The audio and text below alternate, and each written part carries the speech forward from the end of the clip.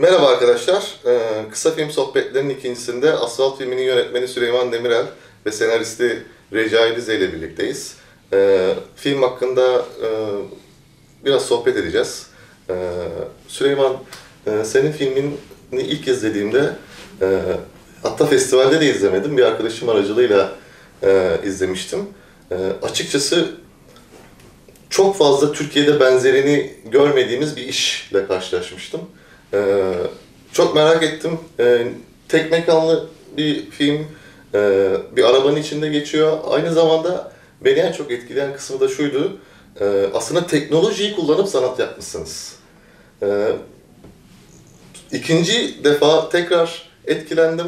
Ee, onun da nedenini söyleyeyim. Ee, aslında bu uzun metraj bir senaryonuzun bir sahnesiymiş. Ama çok iyi bir kısa film çıkarmışsınız oradan. Biraz o serüvenden falan bahseder misiniz? Niçin böyle bir şey yaptınız? Ee, o sahneyi çektiniz. Ee, merak ediyorum. Ya o teknoloji konusunda ilk olarak şunu söyleyeyim. Ya bu özellikle sanat sinemasında işte art house sinemada e, teknolojiye karşı çok büyük bir ön yargı var. Böyle teknoloji işte efekt kullanan filmler, ses efektini çok fazla kullanan filmler. E, birazcık böyle bir ana akım sinema, kötü film işte hani daha kendini rahat ifade ettiği için ya bir, bir sanat sinemasında sanat sinemacılar onları bir sevmiyor ve dışlıyor teknolojik herhangi bir şeyi. Ya bu bana çok absürt geliyor. Çünkü sinema dediğin şey zaten teknolojinin bir ürünü.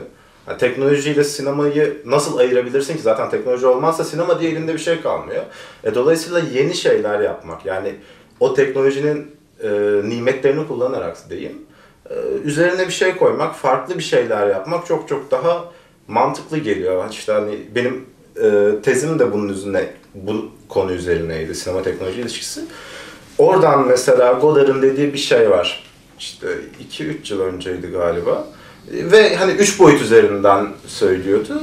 Bu üç boyutun yeni bir medyum olduğunu ve işte şu anda bakir bir alan olduğundan bahsedip hani bunun üzerine yeni bir şeyler yapmak çok çok daha heyecanlı bir şey oluyor. Çünkü yapılmış çok fazla bir şey olmadığı için bayağı e, hani onu deneyimliyorsunuz ve ekstra bir değer kattığını düşünüyorum. O yüzden teknoloji o noktadan bakıldığında teknolojiyle sanat ilişkisini veya teknolojiyle sinema ilişkisini daha doğrusu çok çok daha önemli bir yerde görüyorum.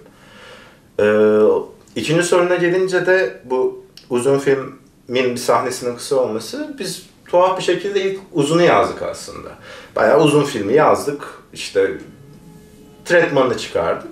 Sonradan daha önceden hep deneysel filmler çekmiş olduğumuz için kurmaca bir şey de olsun elimizde. Hem de uzunun bir teaser gibi olur. Bunu zaten isteyecekler. Ee, hem de elimiz çok çok daha güçlü olur dedik yani. Filmi gösterip hani uzunda bu minvalde bir şey olacak. Ee, madem dedik öyle uzundan bir tane sahneyi alıp kısa film formatına uyarladık. Peki o sahneyi olduğu gibi mi aldınız yoksa değişiklikler yaptınız mı? Aslında sadece karakterler değişik. Hmm. Yani normal yani sahne olarak hatta anlattığı şey olarak da aynı şeyi anlatıyordu uzun filmde de. Sadece uzun filmde iki kardeş gidiyordu. Biz burada onu değiştirip işte hastane olayını koyup e, bir karı koca yaptık.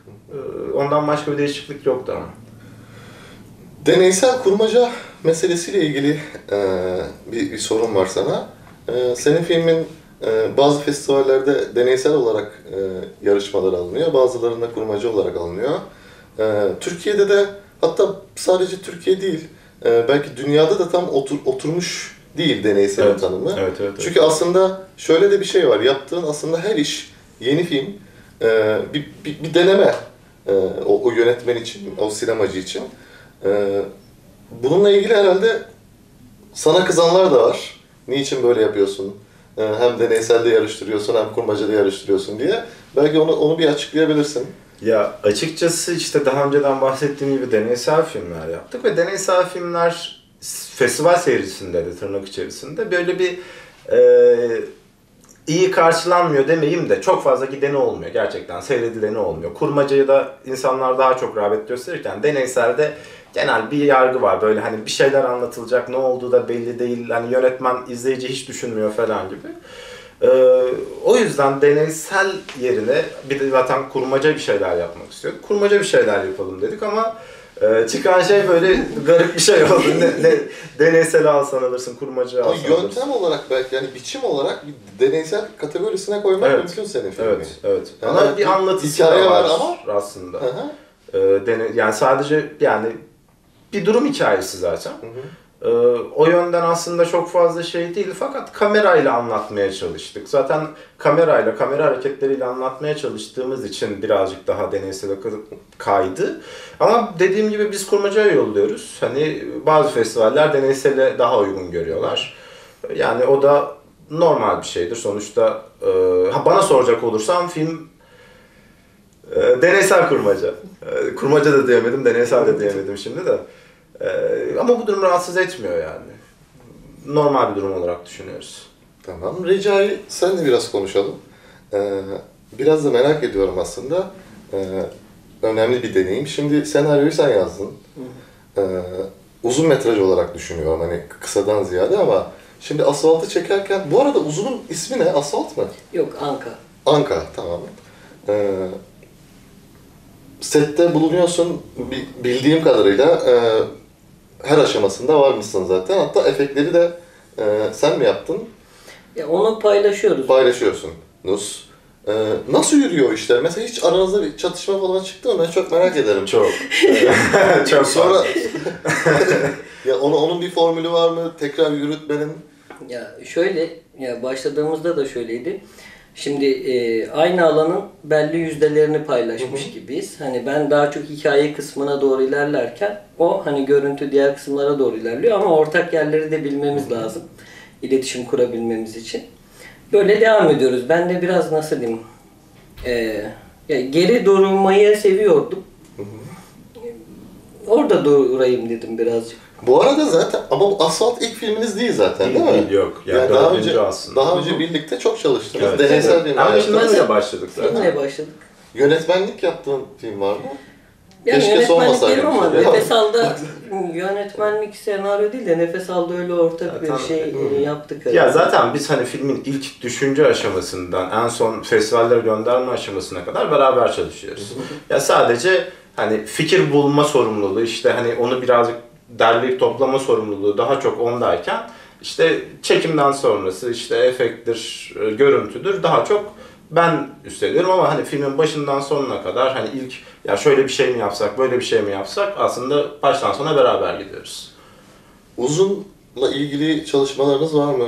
Ee, Ee, ne zaman izleyeceğiz daha doğrusu? Yapacak mısınız? Açıkçası biz şöyle hmm, bakanlığa başvuracağız onun için uzun film için. Hani oradan gelecek fonlamayı bekliyoruz. Tabii ki var. Hani zaten bir amacımız da hani o şeyi yaparken çünkü tretman yerine bir görsel bir şey sunabilmek daha iyi uzun filmimize dair bir materyal. Onun için çekmiştik. Yani e, beklediğimiz şey sadece aslında fonlama şu an. Hı hı. Yani Ee, ama, za- ama zaten bu senaryo için senaryo yazım desteği aldınız bakanlıktan. Öyle değil mi? evet. Ee, ya umarım destek alırsanız. Umarım. Çünkü yani aksi takdirde nasıl yapılır, nasıl edilir hiçbir fikrimiz yok gerçekten. Ee, biraz festivallerden bahsedelim istiyorum. Ee, çok fazla festival gezdiniz aslında. Hani sadece Asfalt'ta değil, e, diğer deneysel filmlerinizde. Ee, Türkiye'de e, festivallerin gerçekten amacına hizmet ettiğini, e, bir, kısa filmciye ikinci filmini yaptırabildiğini düşünüyor musunuz? Yoksa sadece böyle işte 3 gün, 5 gün filmler gösteriliyor, eğleniliyor, işte PR yapılıyor. E, nedense bana hep öyle geliyor. Yani hani e, son son yıllarda film forumlar falan yapılmaya başlandı ama daha çok uzun filmler için yapılıyor ama hala işte kısayı kimse görmüyor. E, fest, bir, bir festivalin, herhangi bir festivalin e, bir kısa filmciye e, ne kadar katkı sağladığını düşünüyorsun? Türkiye'de mesela. Festivallerle kısa filmcilerin ilişkisi birazcık tuhaf. Şey yönünden tuhaf. Hiçbir festival aslında e, bir kısa filmci ikinci filmini yapması dediğim gibi hani belki arada çok nadir şey olmuştur ama ben deneyimlemedim, görmedim öyle bir imkanı. Bir de zaten Türkiye'de kısa film festivali olarak düşünürsek 10.dan sonra yapılan ne bileyim hani 20. 20 artı yaşında olan falan Beşi ya geçmez. geçmez mümkün değil. E, dolayısıyla bunlar şey oluyor aslında hani birincisi yapılıyor, ikincisi yapılıyor. Bilmiyorum bir gazla mı başlanıyor bir yerde böyle bir sadece organizasyon olsun falan bilmiyorum ama Ee, ve çok fazla şey olmadan direkt sönümleniyor. E haliyle onun çok da bir anlamı olmuyor aslında. Ee, şey olarak da ödüllerin e, parasal değeri olarak da ya tabii ki e, bence çok düşük bütçeler. Ama bir taraftan da kısa filmciler olarak festivallere muhtaç durumdayız. Çünkü festivaller olmazsa zaten filmlerimizi yayınlayamıyoruz. Seyrettiremiyoruz. Hani kendimizi duyurmak için festivaller mecbur yolluyorsunuz. Ve kısa filmci olarak aslında çok da festival seçmiyoruz maalesef. Yani ne olursa olsun gönderiyorsun. Ve gittiğinde çok başımıza geldi. Ya 16'ya 9 çekmişiz filmi. Bakıyoruz 4'e 3 böyle küçülmüş. Böyle hani sen tek tek uğraşıyorsun işte şuradan al, buradan görün, şuradan ses mi alayım. Filmi gidip seyrettiğin zaman yani canın yanıyor gerçekten yanıyor. Çünkü o kadar uğraşmışsın ve sahnedekinin senin filminle alakası yok. E, Bunun önüne de geçemiyoruz. Yani böyle yapan bir festival seneye bunu devam ettiriyor. Hani seneye yeni bir versiyon yapıyor. Yeni filmin olduğunda yine yollamak zorunda kalıyorsun. Çünkü zaten gösterebildiği tek yer orası oluyor. Yani benim koyulursa belki yıllar önce e, bir festivalde olan şey vardı. Şu kısa filmcileri ayrı otele koyalım gibi ona bir şey olmuştu. Hani şey oluyor biraz. Yani şu an galiba daha iyi. Önceden daha geride tutuyorlardı da hani konuşmamız gerekiyor. Uzun yapanlarla, diğer insanlarla konuşmamız gerekiyor. Çünkü hani çekiyoruz kısa film ama fonlama, oyuncu bunların hepsi gerekecek. Bunun için bir iletişim olması gerekiyor ama bazen şey olabiliyor hani Hani kısa filmciler ayrı yerde kalıyor mesela ayrı otel ayarlıyorlar. Halbuki aynı yerde kalsalar bir sürü insanla tanışabilirler, bağlantı kurabilirler. Öyle şeyler oluyor. Şu ayrı yerde kalma olayını da aslında bir, biraz aşmak lazım. Ee, daha kötü otelde kalıyorlar. Hani Ne? Evet. Değil mi? Yani Tabii. hani e, işte normal jü- jüriler e, ve varsa festivalin içinde uzun metraj e, yönetmenler daha iyi otellerde kalıyor. E, kısa filmciler daha kötü otellerde Yani kalıyor. sizinki küçük gibi oluyor. Evet. Yani sizin Yarım film. Tabii bu Ya, aslında gerçekten otellerde ya bence onda çok büyük bir sıkıntı yok bana kalırsa. Ama me- mesela bazı festivaller oluyor böyle filmini yolluyorsun finalist oluyor işte ama hani e, gidip orada diğer filmin filmlerin yönetmenleriyle tanışma şansının olmadığı. Hani karşılamıyorlar. E, haliyle hani gidip nasıl oraya gideceksin, kendi imkanlarınla orada kalacaksın, tanışacaksın. E, o yüzden aslında festivallerin bana kalırsa ödül vermek yerine bile sadece şeyleri oraya çekmesi, yönetmenleri oraya çekmesi, onlara kendi içinde bir alan yaratması çok çok daha önemli oluyor. Çünkü aynı şeyi yapıyoruz ve sürekli birbirimizle iletişimde olmak hem bizi geliştiriyor hem bir şey olduğunda yani aynı işi yapıyor. Hani bir kamera lazım oluyor, birisinden istiyorsun, bir oyuncu lazım oluyor öyle bir ister istemez network kuruluyor ve bu çok önemli bir şey aslında festivaller için. Şimdi bu konuyu konuşurken aklıma şey geldi. Yıllar önce e, Orhan İnce, kısa film yönetmeni, e, iyi bir festivalde, çok lüks bir otelde ağırlanırken şöyle demişti. Ya keşke bizi bu kadar iyi otelde misafir etmeseler de, bize bu kadar para harcamasalar da, o parayı işte bize verseler, biz başka bir çeksek. e tabii bu, bu, bütün bunların nedeni aslında iki görüş de bence doğru. Hem işte sizin Yok bahsettiğiniz lüks bir yerde kalmayalım Hı hı. ama kalalım. Evet. Hani Hı hı. ki diğer insanlarla şeyimiz olsun, iletişimimiz olsun. Bu videoda Asfalt filminin yönetmeni Süleyman Demirel e, ve senaristi e, Recai Rize ile birlikteydik. E, kısa filmleri hakkında konuştuk, e, festivaller hakkında konuştuk. Teşekkür ediyoruz.